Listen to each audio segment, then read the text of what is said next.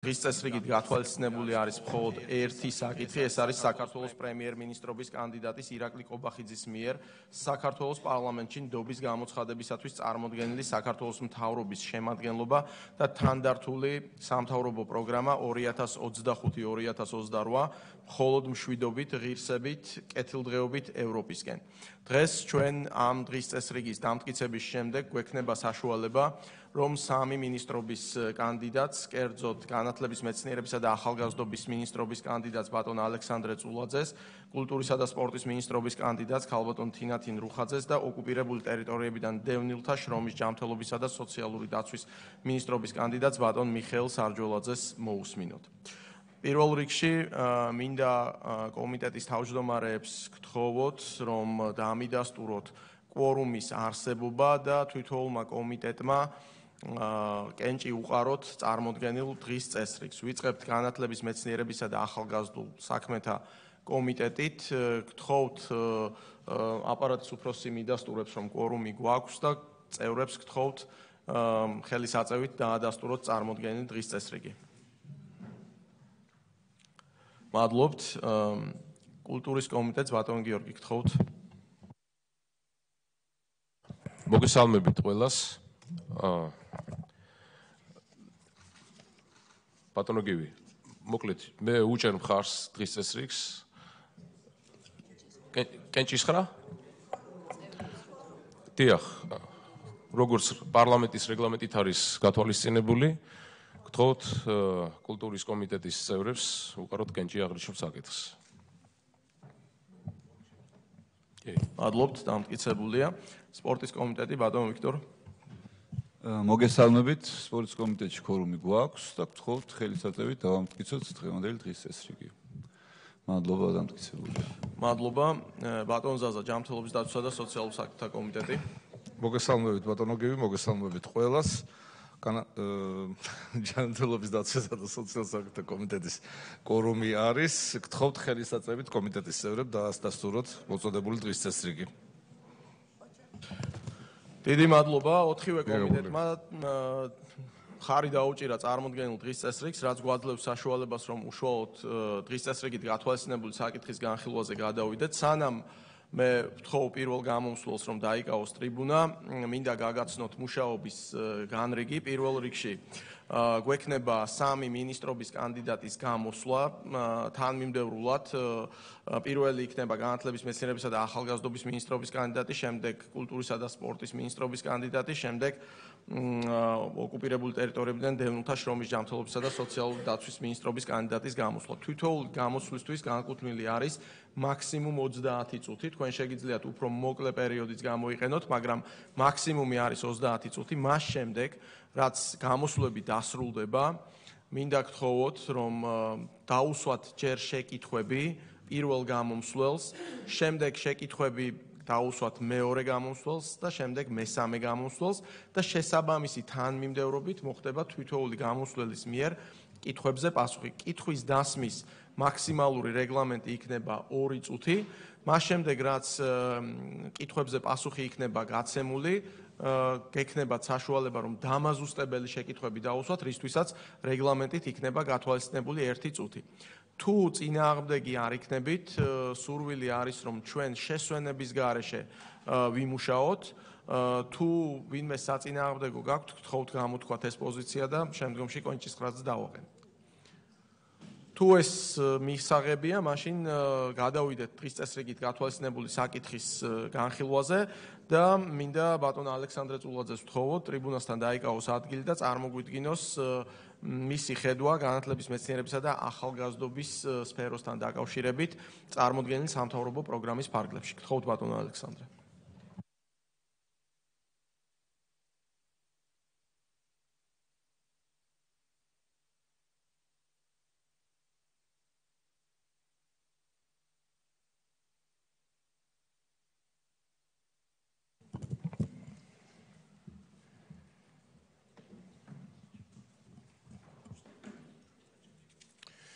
მოგესალმებით პატვიცემულო დეპუტატებო, კომიტეტის წევრებო, კომიტეტის თავმჯდომარეო, ძვირფასო კოლეგებო. ძვირფასო დამსწრე საზოგადოება. მე-11 მე-11 მოწვევის პარლამენტს წევრებს გისურვებს წარმატებულ და ნაყოფიერ საქმიანობას ჩვენი ქვეყნის და საზოგადოების საკითხილდღეოდ. განათლება ქმნის ქვეყნის მომავალს და წარმოადგენს პროგრესული განვითარების წინაპირობად. სწორედ ეს იყო და არის ჩვენი ხელისუფლების ხედვა და კვლავ უწყვეტად გავაგრძელებთ ამ კურსს. შესაბამისად, ჩვენი უმთავრესი პრიორიტეტია ქვეყნის მასშტაბით უზრუნველყოთ ხარისხიან განვითარებაზე ხელმისაწვდომობა, ცოდნაზე დაფუძნებული საზოგადოების, ეკონომიკაზე ორიენტირებული მეცნიერების და ახალგაზრდების გაძლიერება. ჩვენი ხელისუფლებისთვის განათლების პრიორიტეტობაზე მეტყველებს სამინისტროს ყოველწლიურად მზარდი ბიუჯეტი, რომელიც უკანასკნელი 12 წლის განმავლობაში 300%-ით, ანუ 4ჯერ გაიზარდა. ხოლო მომავალ წელს უპრეცედენტოდ პირველად ისტორიის მანძილზე განათლების ბიუჯეტი გადააჭარბებს 3 მილიარდ ლარს. ამის ჩვენ ძალიან დიდი მოლოდინი გვაქვს და დარწმუნებული ვარ, რომ თქვენი მხარდაჭერით ესეც იქნება.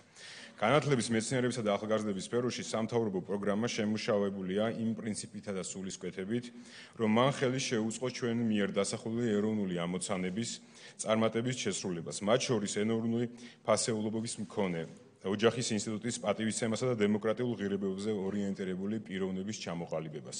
ამ მიზნით სამინისტრო მოწოდებულია ნოვატორული, ჰოლისტური და შედეგზე ორიენტირებული მართლობით უზრუნველყოს ისეთი სისტემის ფორმირება, რომელიც ორიენტირებული იქნება სამ ძირითად მიმართულებაზე.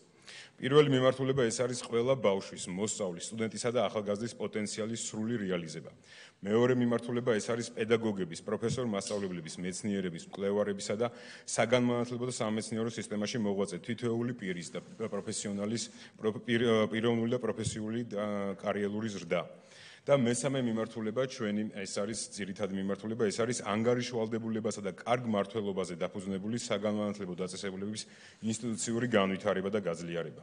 ასე რომ მაქვს პატივი წარმოგიდგენოთ ჩვენი გუნდის ხედვა განათლების, მეცნიერებისა და ახალგაზრდობის სისტემაში განსახორციელებული რეფორმების და ინიციატივების შესახებ, რაც დარწმუნებული ვარ 4 წლის თავზე მოგცემს ყველა საფეხურზე ხარისხობრივად გაუმჯობესებულ და განახლებულ სისტემას და სწავლის შედეგებს. ვინაიდან განათლების სისტემა საფეხურებრივად არის გაშლილი, მეც პროგრამის პრეზენტაციას დავიწყებ მისი ყველაზე ადრეული ეტაპით. ეს არის პირველი და ძალიან მნიშვნელოვანი ეტაპი, ეს არის ადრეული და სკოლამდელი აღზრდა. ამ მიმართულებით ჩვენი მიზანია რეფორმის გადააზრება და მუდმივი გაუმჯობესება, რაც მოემსახურება ერთიანი და ძლიერი საგანმანათლებლო სისტემის ჩამოყალიბებას და ადრეული ასაკიდან უმაღლესი განათლებისა და მეცნიერების ჩათვლით პროცესის პროცესის გაზღოლას. ამ მიმართულებით ჩვენი ამოცანებია პირველი უსაფეხურებს შორის ჰარმონიული ბრმა. აღნიშნული მიდგომა სრულად ეფუძნება უახლოეს მეთოდოლოგიას, რომელიც ორიენტირებულია ბავშვებში საჭირო სოციო საჭირო სოციოფსიქოლოგიური უნარჩვევების განვითარებაზე, შესაბამისად, ბაღებში საგანმანათლებლო კომპეტენციის გაძლიერებასა და სასკალო მზაობის ამაღლებაზე. ამასთან ჩვენი ხედვა უზრუნველყოთ ადრეულ და სკოლამდელ და ზოგად განათლების საფეხურებს შორის მარტივი ბრმა. ბრმა.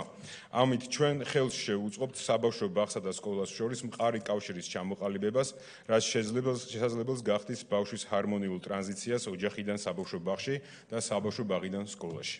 გარდა ტრანზიციისა, თვისობრივად გაუმჯობესდება საბავშვო ბაღების მდგომარეობა ყველა მიმართულებით.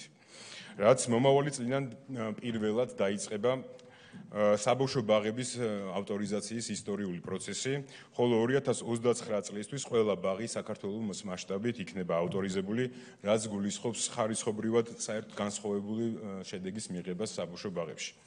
ამასთანავე პროცესების პარალელურად ჩვენთვის მნიშვნელოვანია გაგრძელდეს ეროვნული უმცირესობებისათვის ბილინგური განათლების დანერგვა ადრეული და სკოლამდელი ასაკიდან. კერძოდ, გაიზრდება დაფარვის არეალი და სახელმწიფო ენის სწავლების გაძლიერება საბოლოოდ ყველა არაქართულენოვან ბაღში იქნება შესაძლებელი.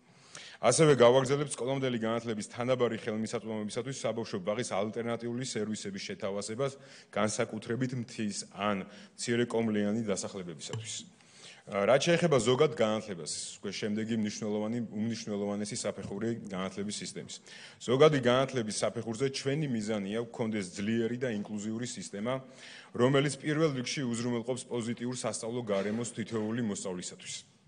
შინაარსობრივი თვალსაზრისით გვაქვს სამი მთავარი სიახლე. პირველი ეს არის მე-11-მე-12 კლასებში მოსწავლეებს ექნება შესაძლებლობა მათ ინტერესებზე მორგებული სასწავლო პროგრამებისა და არჩევითი საგნების არჩევის. ეგრეთ წოდებული დავნერგავთ ეგრეთ წოდებულ სტრიმებს. შესაბამისად გვექნება როგორც მათემატიკური, ჰუმანიტარული, ასევე პროფესიული სტრიმი და მოსწავლეებს, რომლებსაც აქვთ უკვე გადაწყვეტილი რა მიმართულებით გააგრძელონ პროფესიული განვითარება სკოლის დამთავრების შემდეგ, უკვე დამამთავრებელ კლასებში მე-11 და მე-12 კლასში ექნებათ საშუალება გაძლიერებულად აირჩიონ ეს მიმართულებები და ესაგნები. მეორე უმნიშვნელოვანესი სიახლე, რასაც ჩვენ გვინდა ისახავს მიზნად, ეს არის მათემატიკური მიმართულებით კომაროვისა და ვეკუას სკოლის მაგალითზე თელი საქართველოს მასშტაბით მათემატიკის სკოლების ჩამოყალიბება და გაძლიერება.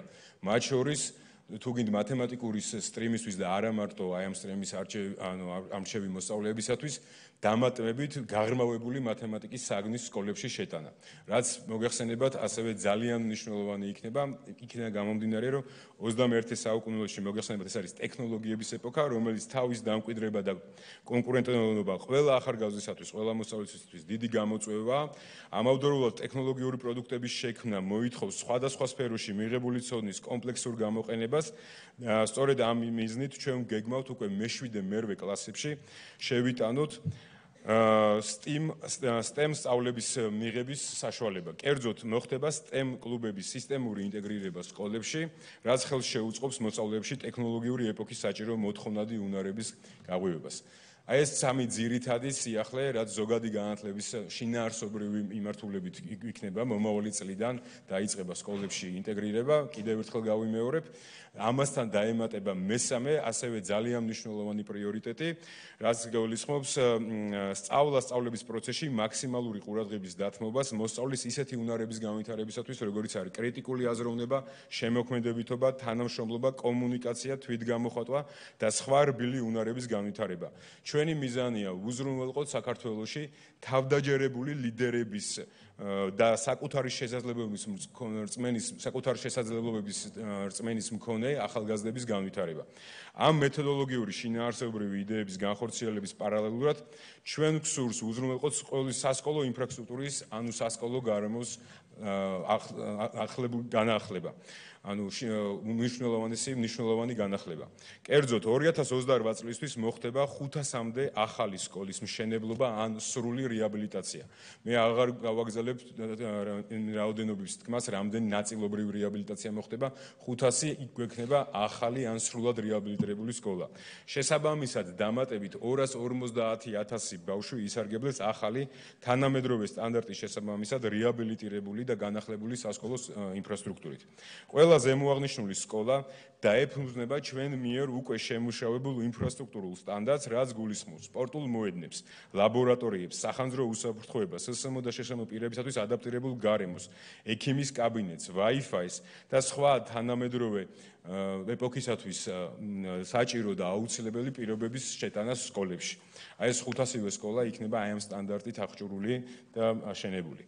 პარალელურად მთელი საქართველოს მასშტაბით გაგრძელდება სასკოლო აღჭურვა თანამედროვე მატერიალური და ციფრული ლაბორატორიებით. კიდე ეს არის ასევე ძალიან მნიშვნელოვანი როგორც საბუნებისმეტყველო მეცნიერებისათვის, ისე არამატო საბუნებისმეტყველო მეცნიერებისათვის. კიდევ ერთი ძალიან მნიშვნელოვანი პროექტი, რომელიც 2025 წელს უკვე გაიხსნება, ეს არის რეგიონალური მასშტაბის საგანმანათლებლო ჰაბი ევროპული სკოლა თბილისი, რომელიც გახდება ნოვატორული პედაგოგიური და მეთოდოლოგიური იდეების ინკუბატორი ყველა საჯარო სკოლისთვის. ჩვენთვის აი ეს სკოლა, რომელიც დაარსება თბილისში, იქნება ყველა საჯარო სკოლისათვის, ასე ვთქვათ, როლ მოდელი, თუ როგორ შეიტანონ სიახლეები, რა მეთოდები, როგორი მიდგომები, თანამედროვე მიდგომები დაინერგოს ყველა დარჩენილ სხვა საჯარო სკოლებში.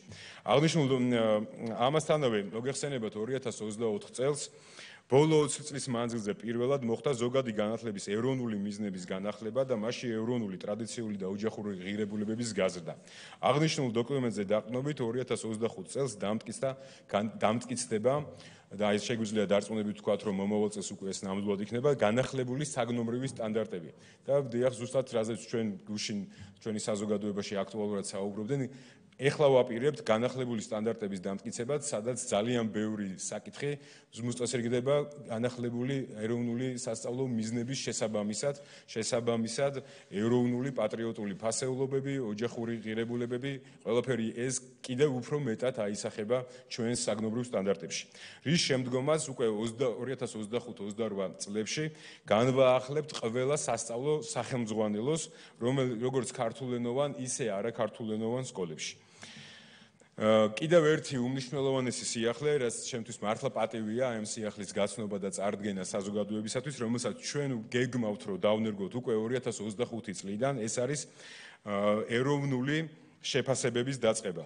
მომდენო წლებში დაიწყება ჯერ მე-6 კლასის, ანუ პირველი საფეხურის, დაწყებითი საფეხურის ბოლოს, ხოლო შემდგომ მე-10 და მე-12 კლასებში, ანუ შემდგომი საფეხურების საბაზო და სრული საშუალო განათლების დასრულების შემდეგ, ეროვნ ჩატარდება ყველა მოსწავლე გაივლისთან მოხდება ეროვნული შეფასება, რაც გულისხმობს თავდაპირველ ეტაპზე მხოლოდ განმავითარებელი მიზნებით, ანუ არა ისახება მოსწავლის აკადემიურ შედეგებზე აღნიშნული ქულები, გამოსთვის ჩატარება გაზიარებას და რომელიც ჩვენ მოგცემს უნიშნელოვანეს და ძალიან საჭირო ინფორმაციას თელი სისტემის შესახებ თელი საქართველოს მასშტაბით როგორც ინდივიდუალური სკოლის მასშტაბლის ასევე რეგიონის მასშტაბით თითოეულ საგანთან დაკავშირებით გვექნება უკუ კავშირი რა დონეზე ისწავლება რა გამოწვევებია თითოეულ სკოლაში ან კლასში მათ შორის რადგანაც ეს სისტემა დაინერგება მე-6 მე-10 და მე-12 კლასში ჩვენ გვექნება ფაქტობრივად მთელი ციკლის და სისტემის დანახვის საშუალება როგორ შეიცვალა როგორ განვითარდა მზაობა მოსწავლის კონკრეტულად თქვა აი ამ ყველა ეტაპის დასრულების შემდეგ. ყველა საფეხურის ზოგადი განათლების საფეხურებზე მაქვს აქვს საუბარი დაწყებითი საფეხურის საშუალოსი თუ სრულის აქედან გამომდინარე აღნიშნული სიახლე მართლაც ძალიან მნიშვნელოვანი პროექტია და დარწმუნებული ვარ ჩვენ ამას ერთად ერთობლივად წარმატებით გავართმევთ თავს. და ბოლოს ბაღების მსგავსად 2030 წლისთვის დასრულდება ყველა საჯარო სკოლის ავტორიზაციის პროცესი საქართველოში და ეს იქნება კიდევ ერთი სისტემური რეფორმა, რომელსაც ჩვენ ბოლომდე მივიყვანთ, ხოლო რა სისტემური სიკეთის მოტანა შეუძლია ამ პროცესს, მე ამაზე აღარ შევჯერდები, იქიდან გამომდინარე, რომ დარწმუნებული ვარ, ყველა არა მარტო აი ამ დარბაზში შეკრებილმა აუდიტორიამ, კარგად მოგეხსენება თუ რაოდენ მნიშვნელოვანია სკოლების ავტორიზება, შესაბამისად სკოლის მიერ 4-ვე მნიშვნელოვანი სტანდარტის უკლებრივ დაკმაყოფილება. და ჩვენ გვექნება 2030 წლისთვის დღეს გვაქვს უკვე 400 საჯარო სკოლა ესეთი, რომელმაც გაიარა ავტორიზაცია და ეტაპობრივად 2000 ასამდე საჯარო სკოლაა მოგეხსენებათ საქართველოში 2000-ვე სკოლა იქნება ავტორიზებული აი ამ პროგრამის დასრულების შემდეგ, რომელიც პროგრამასაც დღეს ჩვენ წარვადნით. ასევე რაც შეეხება ჩვენ ზვირფას მასწავლებლებს და ამ პროფესიაში შესulis და განვითარების მსრულად ადამიანებს. ჩვენ გვანვაგზობთ კარიერულ და პროფესიულ განვითარებას და ამ სქემის გადამუშავებას, რომელიც ერთხელ და სამუდამოდ ერთხელ და სამუდამოდ უზრუნველყოფს დამსახურებასა და შედეგზე დაფუძნებული მიდგომით მასწავლებელთა პროფესიულ და კარიერულ განვითარებას. ასევე დავასრულებთ მუშაობას დაფინანსების ახალ მოდელზე, ეს არის სკოლის დაფინანსების მოდელი, რომელიც უზრუნველყოფს მასწავლებელთა სახელფასო პოლიტიკის გაუმჯობესებას. კიდევ ერთხელ ძალიან მნიშვნელოვანი მიმართულება, საერთოდ ჩვენ აუცილებლად გვექნება მნიშვნელოვანი პროგრესი. ეს არის ინკლუზიური გარემოს უზრუნველყოფა ზოგად საგანმანათლებლო სივრცეში. აღნიშნული მიზნით მოვახდენთ საგანმანათლებლო დაწესებულებების მანდატური სამსახურის ფუნქციების და სერვისების გაფართოებას, ინკლუზიური განათლების მხარდასაწერად შემდეგი კონკრეტული ნაბიჯები იქნება გადადგმული. პირველი შემუშავდება ალტერნატიული სასწავლო გეგმა. მეორე დაიწყება სპეციალური მასწავლებლების და მოსწავლეთა ასისტენტების გადამზადება. გაიზრდება ფსიქოსოციალური მომსახურების ხელმისაწვდომობა და ბოლოს სოციალური საგანმანათლებლო საჭიროების მქონე პირები სახელმწიფოს მხრიდან ხარდაჭერილი იქნებიან განათლების ყველა საფეხურზე. ხოლო რაც შეეხება სახელმწიფო ენას, მე უკვე შევეხებ ბილინგურ სწავლებას ბაღებში და ადრეულ სკოლამდელ ასაკში. რაც შეეხება სასკოლო პერიოდში, ბილინგური მეთოდით სწავლა დანერგილი იქნება ყველა სკოლაში 2025-ის 2025 წლის პირველივე პირველივე დეკადაში, პირველივე ნაწილში. ამასთან აა უკვე მოზარდებისთვის და არასასკოლო დასრულთათვის ჟვანიას ადმინისტრირების სკოლა განაგზობს ეთნიკური უმცირესობების წარმომადგენლების ქართულ ენაში მომზადება გადამზადების პროგრამის შეთავაზებას. და ბოლოს ზოგადი განათლების თაობაზე საუბარს შევაჯერებ. და შევაჯამებ პირველ კლასელების შესახებ ინფორმაციით. ზოგადი განათლების შესახებ საქართველოს კანონში შესული ცვლილებების თანახმად მოსწავლეებს, რომელთაც 2025 წლის 31 დეკემბრის ჩათვლით უსრულდებათ 6 წელი, მშობლების სურვილის შემთხვევაში 2025-2026 სასწავლო წელს შეეძლებათ შევიდნენ სკოლაში. ანუ უკვე მომდევნო წელს შემდეგი მიღებაზე, ასე ვთქვათ, პირველ კლასელებს, რომელთაც 6 წელი უსრულდებათ წლის ბოლოს წლის ბოლომდე უფრო სწორად 31 დეკემბრის ჩათვლით შეეძლებათ სექტემბერში მიმართონ და დაიწყონ სწავლა თუ იქნება ესეთი მშოვლების სურვილი. ეხლა მსურს გადავიდე განათლების შემდეგ, ასევე ძალიან მნიშვნელოვან საფეხურზე ეს არის პროფესიული განათლება. ჩვენი პროგრამის პრიორიტეტია ხარისხიანი ხელმისაწვდომი და შედეგზე ორიენტირებული პროფესიული განათლება, რომელიც უზრუნველყოს შრომის ბაზრას კვალიფიციური და სათანადო უნარებით აღჭურვილი კადრებით. ამ მიზნით პროფესიული განათლება სრულად გადავა საჯარო და კერძო პატრონობის მოდელზე და კოლეჯების მართვა საქმიანობა იქნება უზრუნველყოფილი კერძო სექტორის ჩართულობით. მოგახსენებებად ამ მიმართულებით ჩვენ უკვე გვაქვს ძალიან კარგი გამოცდილება 100-მდე პროექტი და ძალიან ცნობილი პროექტები უკვე ამ სფეროში და ასევე მოკლევადიანი პროექტები ხორციელდება კერძო სარჯარო პარტნიორებით და ეს მოდელი უკვე არის შეგვიძლია ვთქვათ რომ ცალსახად წარმატებული მოდელი რომელიც კიდევ უფრო გაფართოვდება. ერთ-ერთი მთავარი ამოცანა სწორედ ამიტომ ჩვენი პროფესიული განათლება მჭიდროდ არის ჩვენი პროფესიული განათლება მჭიდროდ დაუკავშიროთ ქვეყნის ეკონომიკას მის ტრადიციულ თუ ახალ სექტორებს და ინდუსტრიებს. სწორედ ამიტომ კერძო სექტორის საყურებლად სურს ხაზი გაუსვა და აღნიშნო რომ სახელმწიფო მზადაა შემოვიდეს კერძო საჯარო პარტნიორობაში ინვესტორის როლში და უზრუნველყოს სახელმწიფო კოლეჯების სათანადო ინფრასტრუქტურით აღჭურვა და პროგრამების დაფინანსება თუ ბიზნესი დაგვარწმუნებს რომ მას აქვს უზრუნარი უზრუნველყოს კურსდამთავრებულების დასაქმება უზრუნველყოს გარკვეული ფინანსური თანამონაწილეობა და რაც მთავარია ზოგადად არახოლოდ საკუთარი ინტერესების მიმართულებით, არამედ ზოგადად ამ ინდუსტრიისა და დარგის რომელშიც ეს ბიზნესი იქნება ჩართული, განვითარების ხელშეწყობა. აქვე მსურს მოგახსენოთ, რომ დღეისათვის კერძო სექტორთან თანამშრომლობით განახდა და შემუშავდა ასამდე მოკლევადიანი საგამანათლებლო პროგრამა. ამასთან ჩვენ გავაგრძელებთ აქტიურ მუშაობას კერძო სექტორის ჩართულობით, რათა პროფესიული განათლებაში არსებული კვალიფიკაციები მჭიდროდ დაუკავშიროთ შრომის ბაზარს და ტენდენციებს და მათ საჭიროებებს.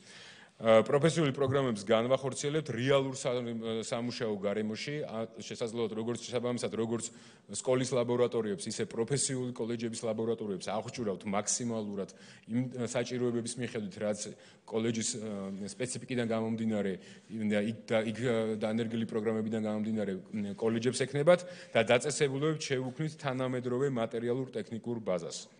რაც შეეხება პროფესიული განათლების მიმართულებით ჩვენს ინფრასტრუქტურას.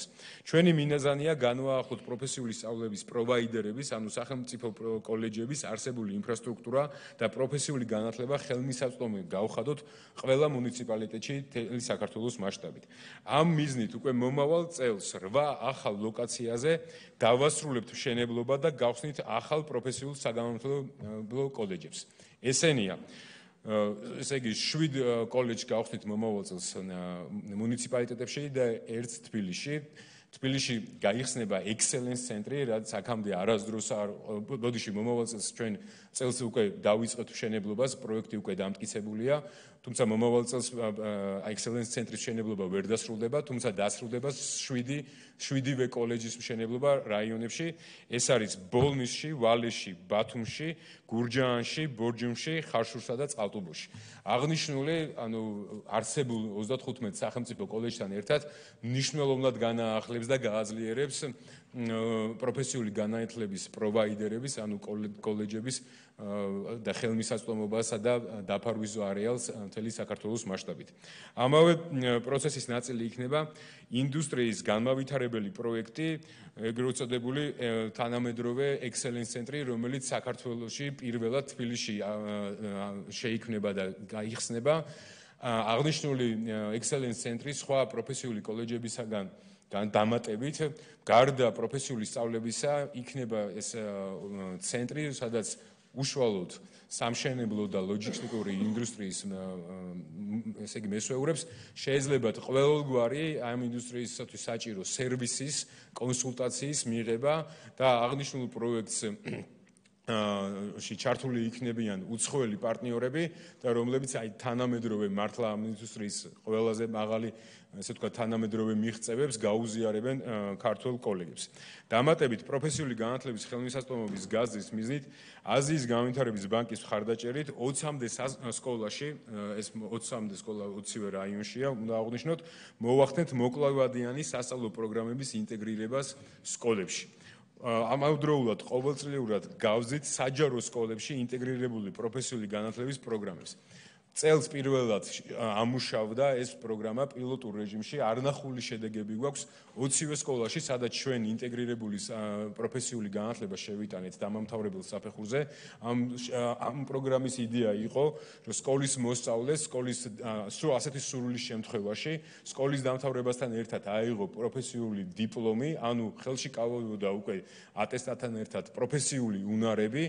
და ყველა სკოლაში სადაც ჩვენ ეს 2024 წელს შევიტანეთ, ეს სექტემბრიდან დაიწყო, გადაივსო კლასები პროფესიული კოლეჯი, პროფესიული ორიენტა პროფესიული ესე იგი სტრიმის სურველების და ამ პროექტს აუცილებლად გავაგრძელებთ, იმიტომ რომ თვითონ ამ პილოტურმა ვერსიამ გვიჩვენა თუ რაოდენ მნიშვნელოვანია ამ მიმართულებით მხარდაჭერა და ვიმედოვნებთ, რომ 2028 წლისთვის საქართველოში უკვე ყოველწლიურად სკოლაშივე დაახლოებით 200-მდე სკოლის მოსწავლე შეძლებს პროფესიული პროგრამის, ანუ დიპლომის ხელში დაკავებას სკოლის დამთავრების პარალელურად. ასევე აღნიშნული პროგრამა საშუალებას აძლევს გვაძლევს აღნიშნული პროგრამების საშუალებას გვაძლევს გადავდგათ მნიშვნელოვანი ნაბიჯები პროფესიული სწავლების ხარისხობრივი განვითარების მიმართულებითაც. მომდევნო 4 წლის მანძილზე ყველა კვალიფიკაცია გადამუშავდება კერძო სექტორთან თანამშრომლობით. ყველა დაწესებულება გაივლის პროფესიულ კოლეჯებზე მაქვს საუბარი ავტორიზაციას ახალი სტანდარტების შესაბამისად. ანუ როგორც სკოლა თქვით ჩვენ და ბაღები 2030 წლისთვის ასევე ყველა პროფესიული კოლეჯი და იქამდეც გაცილებით ადრე იქნება ავტორიზებული, ვინაიდან ეს პროცესი უკვე მომდენო წელს 2025 წელს დაიწყება და დარწმუნებული ვარ ძალიან სწრაფადაც დამთავრდება.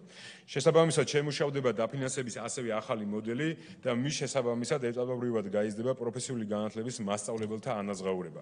როგორც სტუდენტებისათვის, ისე პროფესიული განათლების დაწესებულებების ადმინისტრაციისა და მასწავლებლებისათვის გაიზრდება ინტერნაციონალიზაციის კომპონენტი და საერთაშორისო მასშტაბით მობილობა. ასევე ძალიან მნიშვნელოვანია, რომ ჩვენ პროფესიული კოლეჯის მოსწავლეებს კონდეთ საშუალება ისევე როგორც თქვა უნივერსიტეტის სტუდენტებს რომ გაცვლით პროგრამებში მიიღონ მონაწილეობა, გარკვეული სწავლის გარკვეული პერიოდი გაატარონ არა მხოლოდ საკუთარ ასე ვთქვათ კოლეჯში, არამედ უცხოეთშიც, სხვა თანამედროვე საერთაშორისო არაჩვეულებრივი პარტნიორები ყავთ ასევე ჩვენ კოლეჯებს და ეს ინტერნაციონალიზაცია მოხდება არა მხოლოდ სტუდენტების და მოსწავლეების, არამედ პროფესორ მასწავლებლებისთვის, რასაც ჩვენ ასევე სწავლების ხარისხზე აუცილებლად აისახება. ეხლა მსურს გადავიდე უმაღლეს განათლებაზე, უნიშნელოვანეს კიდევ ერთ საფეხურზე განათლების საქართველოს უმაღლესი განათლების სისტემაში განხორციელებულმა ცვლილებებმა და მის მიმართ საერთაშორისო პარტნიორებში ნდობის მნიშვნელოვნად ამაღლებამ გამოიწვია უმაღლესი საგანმანათლებლო სფეროს სწრაფი ტემპით განვითარება და უზრუნველყო განათლების სექტორიდან სახელმწიფო ბიუჯეტში შესული თანხების მნიშვნელოვანი ზრდა. უმაღლესი განათლება საბედნიეროდ გახდა ჩვენი ეკონომიკის ერთ-ერთი მნიშვნელოვანი დარგი და ჩვენი ბიუჯეტის შემოსავლების ერთ-ერთი მნიშვნელოვანი აქტორი. სურს კიდევ ერთხელ ხალხი გაუსვა, რომ დამოუკიდებლობის აღდგენის შემდეგ და ეს ყველაფერი მოიტანა ზუსტად ძალიან ბევრმა და კარგმა ინიციატივამ, რაც ბოლო წლების განმავლობაში განხორციელდა, თუმცა განსაკუთრებით სურს ხაზი გაუსვა ბატონი ბიძინა ივანიშვილისა და მისი ოჯახის ქველმოქმედებას, რომლის ინიციატივით მიუხენის ტექნიკურ უნივერსიტეტთან თანამშრომლობით ქუთაისში დაფუძნდა მრავალპროფილური საერთაშორისო დონის სახელმწიფო უნივერსიტეტი, ქუთაისის საერთაშორისო უნივერსიტეტი, რომელიც ეტაპობრივად ხდება სწავლის, კვლევისა და ტექნოლოგიების ჰაბი არამხოლოდ რეგიონში. სტუდენტთა რაოდენობა ჩვენი მოლოდინით 2030 წლისთვის აღნიშნულ უნივერსიტეტში გადააჭარბებს 25000, ხოლო აღნიშნული პროექტის სრული მასშტაბით ამოქმედება კოლოსალურ გავლენას იქონიებს საქართველოსი სწავლა და სასწავლო და სამეცნიერო ეკოსისტემის განვითარებაზე. თუმცა ჩვენი სურვილია მიღწეულით არ დაუკმაყოფილდეთ და უმაღლესი განათლების სისტემა თვისობრივად ახალ ეტაპზე გადავიყვანოთ. სწორედ ამ მიზნით უმაღლესი განათლების მიმართულებით შემოთავაზებული პროგრამის წამყვან კომპონენტს წარმოადგენს სახელმწიფო უნივერსიტეტების განვითარების ახალი კონცეფცია, რომელიც მოიცავს კონცეპტუალურ გარდაქმნებს ინფრასტრუქტურულ განახლებას და სასწავლო სამეცნიერო გარემოს გაუმჯობესებას. კერძოდ, აღნიშნული კონცეფციის კონცეფცია შემუშავდება წამყვანი საერთაშორისო და ადგილობრივი ექსპერტების ჩართულობით და საერთაშორისო საკონსულტაციო კომპანიების მონაწილეობით.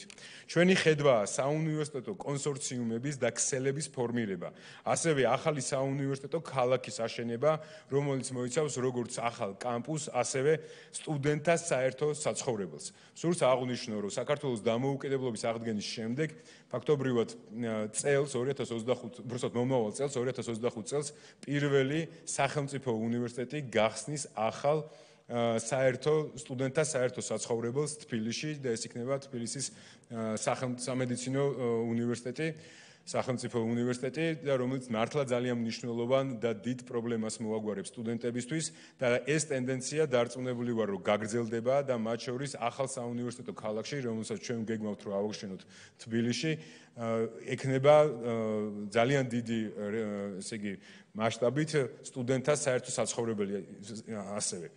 აღნიშნული კონცეფციის ნაწილი იქნება ასევე უმაღლესი განათლების დაფინანსების ახალი შედეგზე დაფუძნებული მოდელის დანერგვა, რომლის საშუალებითაც ჩვენ უზრუნველყოფთ დაფინანსების შესაბამისობა სახელმწიფო პრიორიტეტებთან და ამავდროულად უმაღლეს სასწავლებლებს შეუქმნით სათანადო ფინანსურ გარანტიებს ეფექტიანი და სტაბილური განვითარებისათვის. სურს მოკლედ მოვახსენოთ უმაღლესი განათლების სისტემის ხარისხობრივი და ადმინისტრაციული და ინსტიტუციური გაჯასახების კუთხით დაგეგმილი აქტივობების თაობაზეც სამინისტროს 2025 წლის განმავლობაში შეიმუშავებს ონლაინ უნივერსიტეტის კონცეფციას და შესაბამის სტანდარტს. ეს იქნება პირველად, რომ ჩვენ გვექნება ონლაინ უნივერსიტეტის კონცეფცია და სტანდარტი. ხელს შეუწყობთ უნივერსიტეტების ჩართვას სხვადასხვა საუნივერსიტეტო ალიანსებსა და ქსელებში. მოგეხსენება ზუსტად საუნივერსიტეტო ქსელების ეტაპი დგება ზოგადად სამ სამყაროში და საქართველოს და ქართული უნივერსიტეტები ამ პროცესში აქტიურად უნდა იყვნენ ჩართულები, გაფართოვდება დარგები, სადაც შესაძლებელი იქნება სამწლიანი საბაკალავრო და ერთწლიანი სამაგისტრო პროგრამების განხორციელება, სადოქტორო პროგრამებზე ჩარიცხვა განხორციელება განახლებული სისტემით. ეს არის უმნიშვნელოვანესი 2025 წლიდან, 1 იანვრიდან უკვე ჩვენ გვექნება გვაქვს უბრალოდ ეს უკვე კანონი არის ძალაში შესული სტანდარტი არის ავტორიზაციის სტანდარტი არის უკვე დამტკიცებული.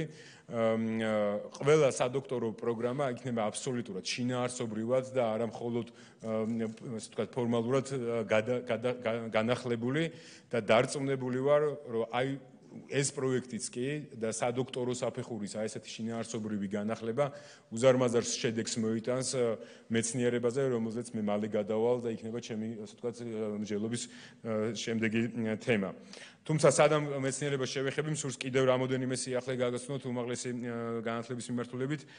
ეს არის ჩვენ გეგმავთ დავნერგოთ აკადემიური და სამეცნიერო პერსონალის მიღწევებზე დაფუძნებული კარიერული წინსვლის სისტემა და ასევე დაუხვეწოთ უმაღლესი საგანმანათლებლო დაწესებულის ინსტიტუციური მოწყობისა და მართვის არსებული მოდელები და გავაძლიეროთ პროფესიულსა და უმაღლესი განათლების საფეხურებს შორის კავშირი. ასევე გაგრძელდება ოკუპირებულ ტერიტორიებზე მცხოვრები პირთათვის ეგრეთ წოდებული და ეგრეთ წოდებულ გამყოფ ხასთან მცხოვრები სტუდენტების მიერ ბაკალავრიატისა და მაგისტრატურის საგანმანათლებლო პროგრამებზე განათლების მიღების ხელშემწყობი ღონისძიებები. უმაღლესი განათლების სფეროში უფრო მეტი ძალისხმევა მიემართება სპეციალურ საგანმანათლებლო საჭიროებების მქონე პირთათვის ინკლუზიური და სრულად ადაპტირებული სასწავლო გარემოსა და რესურსების ხელმისაწვდომობის უზრუნველყოფას და განსაკუთრებული ყურადღება დაეთმობა ეთნიკური უმცირესობების წარმომადგენელ სტუდენტთა უმაღლეს განათლებაზე ხელმისაწვდომობის გაზრდას. ეს არის 1+4 პროგრამა მოგეხსენებათ, აღნიშნული პროგრამა მნიშვნელოვნად გაფართოვდება და ამასთანავე ჩვენ ვიმოდევნებთ, რომ ზოგადად სამთავრობო პროგრამის დასრულების ეტაპზე 2028 29 წლისთვის. ჩვენ აღარ დაგვჭირდება 1+4 პროგრამა იქიდან გამომდინარე რომ ბაღიდან დაწყებული სკოლებში და სკოლიდან დამთავრებული კოლეჯებში და ასევე დასრულებისთვის ყველა მჭიდრო უმცირესობებით მჭიდრო დასახელებულ მუნიციპალიტეტებში გვაქვს მოგეხსენებათ ბილინგური სწავლის პროგრამა და პარალელურად ეს ორი პროექტი დარწმუნებული ვარ გადაჭრის აი ამ ძალიან დიდ გამოწვევას რომელიც ჩვენ ქვეყანაში აქამდე ყოველთვის იდგა. ახლა მსურს უკვე ძალიან მოკლედ გამომდინარე რომ დროში ვიცი შეზღუდულები ვართ შევეხო ასევე შემდეგ საფეხურს ჩვენი განათლების სისტემის ეს არის მეცნიერება. ძალიან კარგად გესმის პირველ რიგში მინდა აღვნიშნო რომ ჩვენ ძალიან კარგად გესმის რომ მეცნიერების მიმართულებით არსებობს ბევრი გამოწვევა რომელთან გამკლავებაც მრავალხრივი სისტემური და თანმიმდევრული ნაბიჯების გადადგომას საჭიროებს. ჩვენი მიზანია განვამ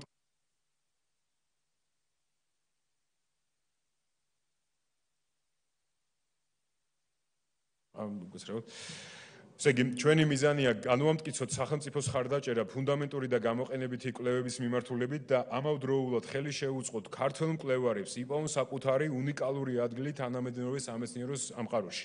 ამ მიზნით ჩვენ გვაქვს შემდეგი გეგმები. პირველი, გავზარდოთ მეცნიერების დაფინანსება და ინფრასტრუქტურული განვითარების ინფრასტრუქტურული პროექტების შეუწყოთ ხელი. მეორე, ჩვენი პრიორიტეტია არა მხოლოდ გამოყენებითი, არამედ ფუნდამენტური კვლევების ხარდაჭრება და კვლევითი ინსტიტუტების გაძლიერება და ამ მიმართულებით უკანასკნელი წლების მანძილზე არაერთი მნიშვნელოვანი ნაბიჯი უკვე გადაიდგა. კიდევ ერთი ძალიან დიდი იმედის მომცემი პროექტი ეს არის ქუთაისის საერთაშორისო უნივერსიტეტში ადრონული თერაპიის ცენტრი, რომელსაც მომდევნო წლების მანძილზე ჩვენ დარწმუნებული ვართ, რომ გავხსნით, რაც მასშტაბური კვლევების წარმოების ახალ ფანჯარას გახსნის მთელი ქვეყნისთვის. და მეცნიერების პოპულარიზაცია ეს არის ძალიან დიდი გამოწვევა, რომელთანაც ჩვენ გვაქვს სპეციალური, შეიძლება იცოდეთ უკვე დეტალური გეგმა, რომ ახალგაზრდებს და ახალგაზრდა მკვლევარებს, მეცნიერებს, სკოლარებს კონდეთ დაინტერესება და წყურვილი რომ საკუთარი პროფესია განავითარონ ამ მიმართულებით. შესაბამისად გაგრძელდება მიზნობრივი პროგრამები და საგანტო კონკურსები რაც ქართულ მეცნიერებაში მეტი ახალგაზრდობის მოზიდვას შეუწყობს ხელს კიდევ ერთი სფერო რომელიც განათლებასთან ინტეგრირებულია და ჩვენი სამინისტრო ფარავს ეს არის სამინისტროს ახალგაზრდობის ახალგაზრდო სააგენტო და ახალგაზრდული მიმართულება. ჩვენი ახალგაზრდული პოლიტიკის უმთავრესი მიზანია ისეთი გარემოს შექმნა, რომელშიც ახალგაზრდები შეძლებენ თვით რეალიზებას, საკუთარი პოტენციალის განვითარებას და სოციო-ეკონომიკურ ცხოვრებაში აქტიურ მონაწილეობას, როგორც თბილისში, ისე რეგიონებში ეს უნდა იყოს თანაბრად უზრუნველყოფილი. აქედან გამომდინარე, ჩვენ დავაფინანსებთ ინფრასტრუქტურულ პროექტებს და მრავალფეროვან ახალგაზრდულ ინიციატივებსა და ორგანიზაციებს შეუწყობთ ხელს განვითარებაში.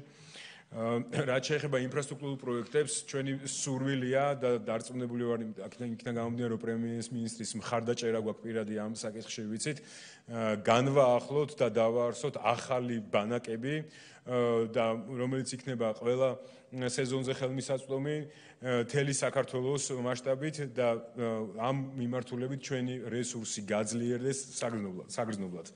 ანუ მოეწყოს ისეთი სივრცეები, სადაც ახალგაზრდები შეძინებენ ადგილობრივ დონეზე საკუთარ მუნიციპალიტეტებში ეკონომიკურ, პოლიტიკურ და სოციალურ პროცესებში ჩართვას, ანუ გააქტიურებას.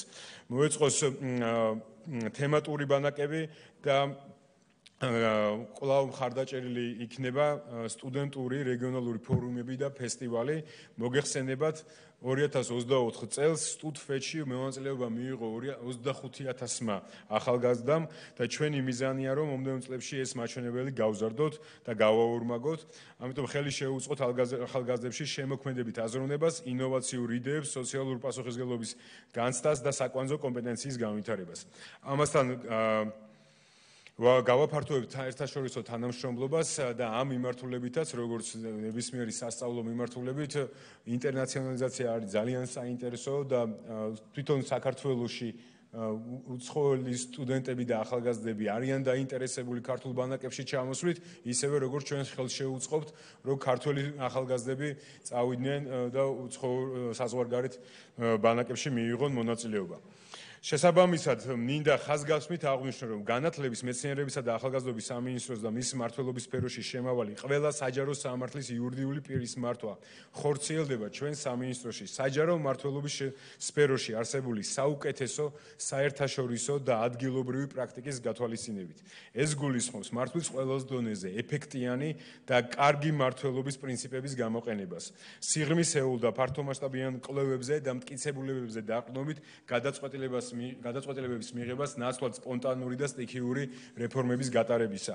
ამასთან უზრუნველყოფილია პოლიტიკის გამსაზღვრელი სტრატეგიული დოკუმენტების შესაბამისობა მთავრობის ერთიან სტრატეგიასა და პრიორიტეტთან და ასევე საერთაშორისო ვალდებულებებთან. ადმინისტრირების პროცესში ტექნოლოგიური სიახლეებისა და ციფრული მართლობის საუკეთესო საუკეთესო პრაქტიკის ინტეგრირებას ვახდენთ და ასეც გავაგრძელებთ.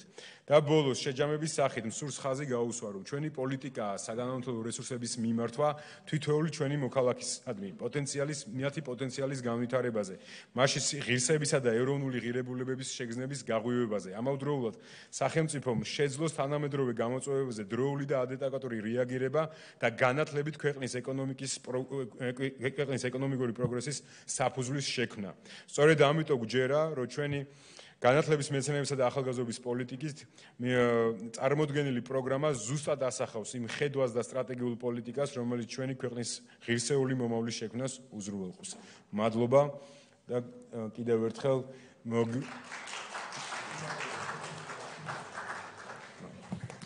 დიდი მადლობა